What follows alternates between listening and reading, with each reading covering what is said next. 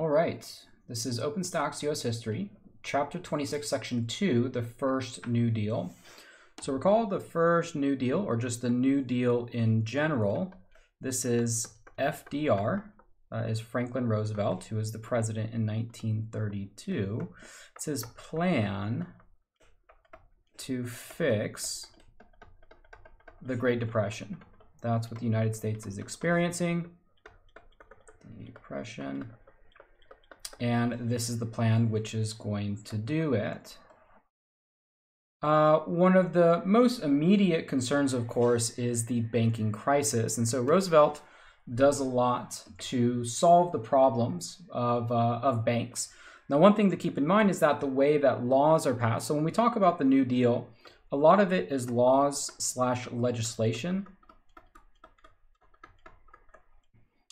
So we say that FDR is responsible for passing this, but it's really the Congress, and this is what makes a lot of the New Deal possible, is that the Congress is willing to take the lead from the president, right? So you have essentially a bill.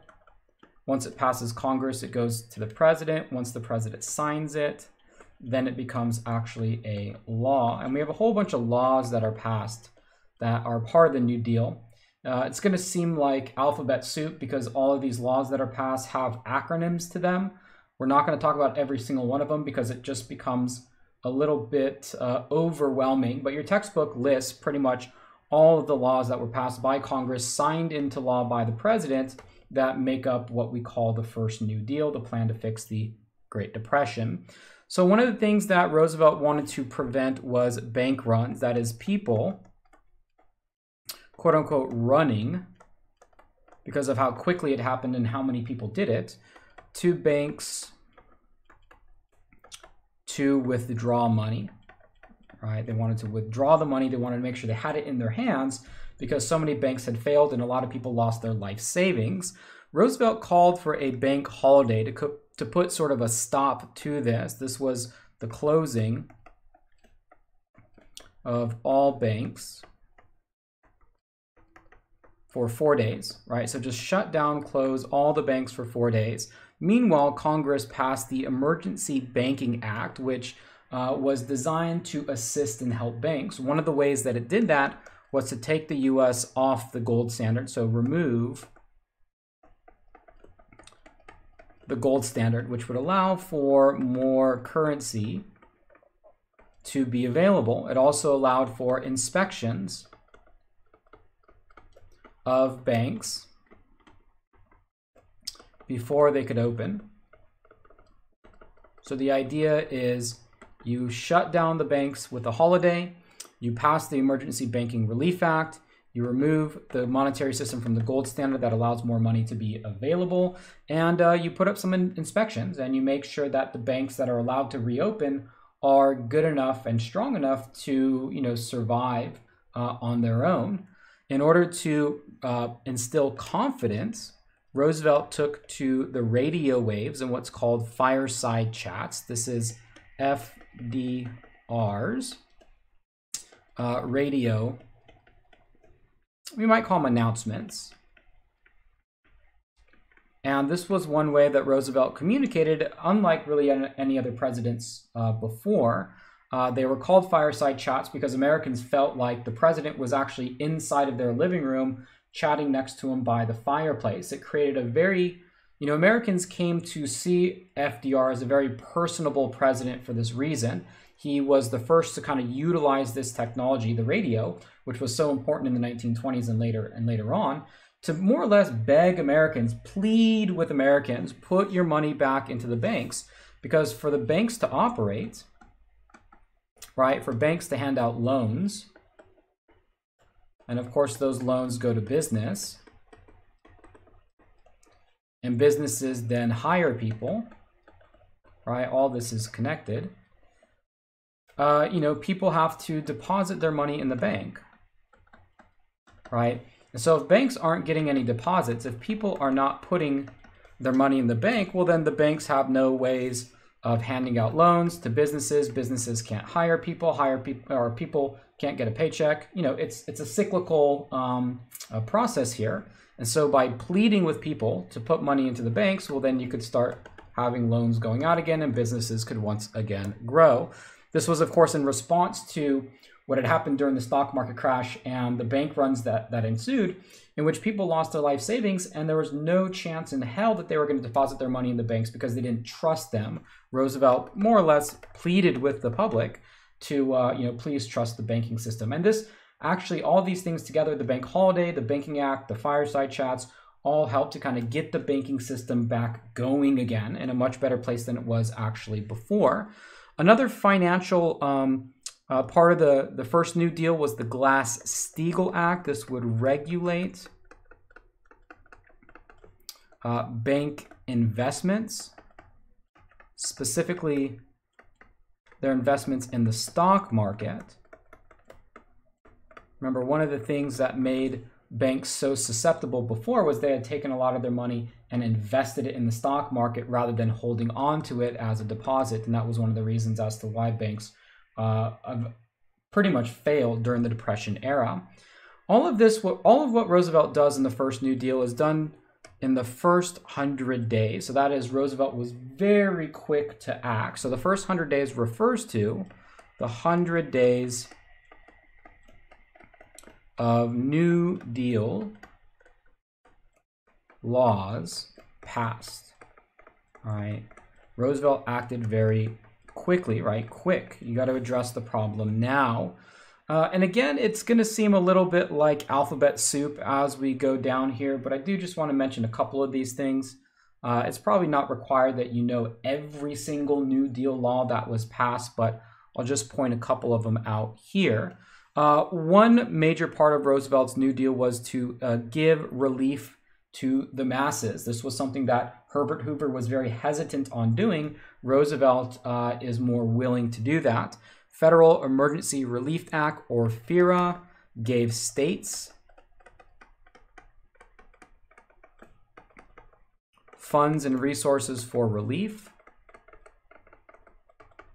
The Civilian Conservation Corps, or CCC, is a work program. So this would hire, this one in particular hired young men, the CCC,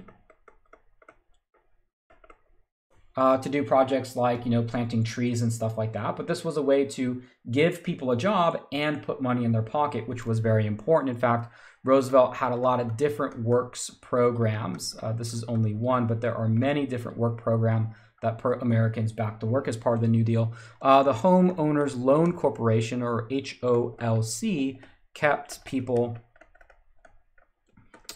in their houses. This was to stem the tide of homelessness, right? The Hoovervilles, the makeshift homes that were so characteristic during the era.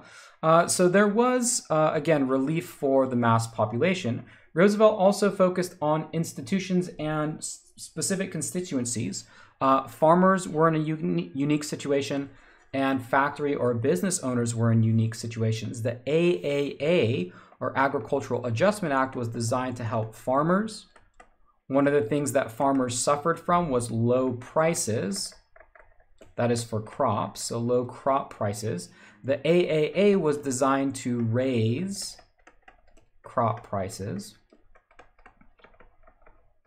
by cutting supply, right? So a matter of supply and demand. If you grow too much food and nobody buys it, you're forced to lower the price of it. What the AAA did was that it paid farmers so they didn't grow food or pay farmers when they didn't grow food. That way the supply shrinks and the price goes up, hopefully getting farmers out of the situation. However, though, the AAA had some unintended consequences. One was that some of the crops went wasted. And this, of course, is happening at a time when there are people who are starving.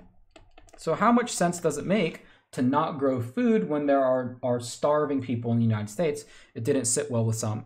And for many who didn't own land, sharecroppers, and tenant farmers, these people were just straight up fired from their jobs. So, while this was beneficial for farmers who owned land, for the farmers who didn't own land, like sharecroppers and tenant farmers, if those farmers are being paid or, or if the landowners are not being paid to grow anything, then you don't need sharecroppers and tenant farmers, right? A tenant farmer is a farmer who works on someone else's land. So this was ultimately bad for them.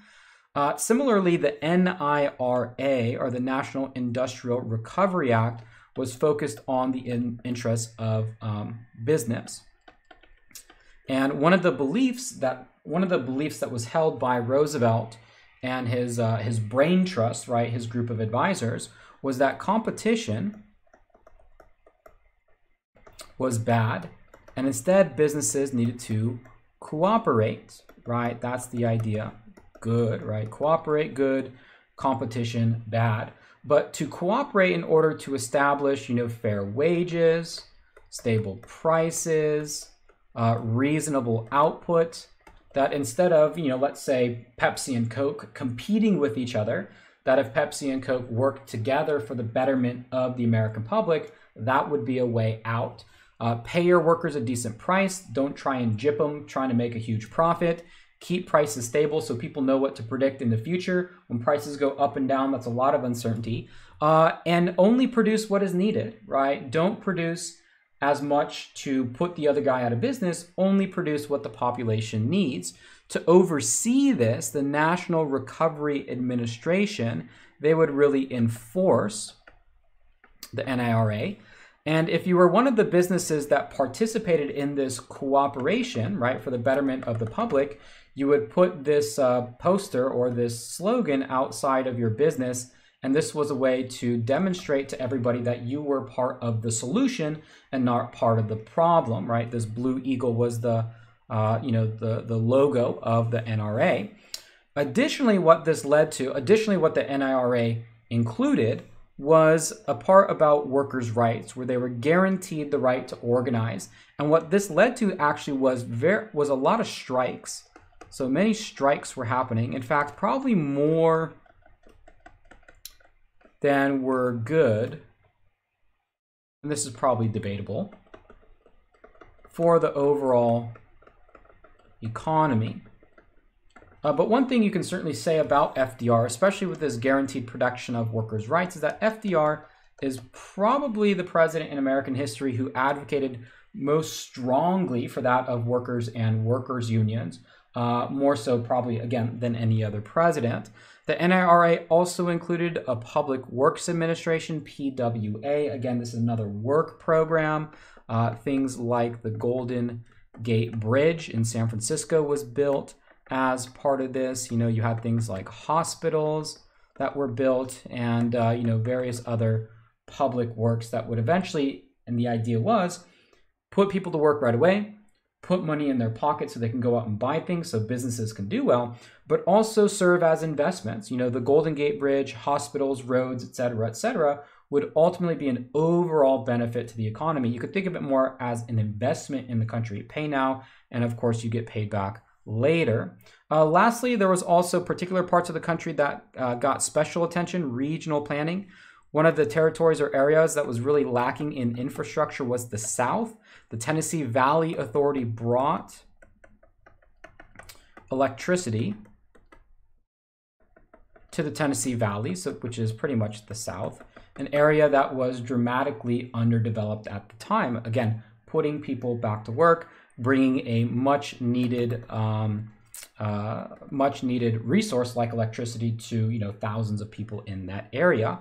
When the New Deal was all said and done, there was a lot of things to be, um, there were a lot of concrete goals that were accomplished, but perhaps the most important thing was Roosevelt's willingness and Congress's willingness to take unprecedented action to tackle the economic crisis, to depart from the way that earlier presidents and Congresses had done before, and involve the government in the economy in a way that, again, was unprecedented.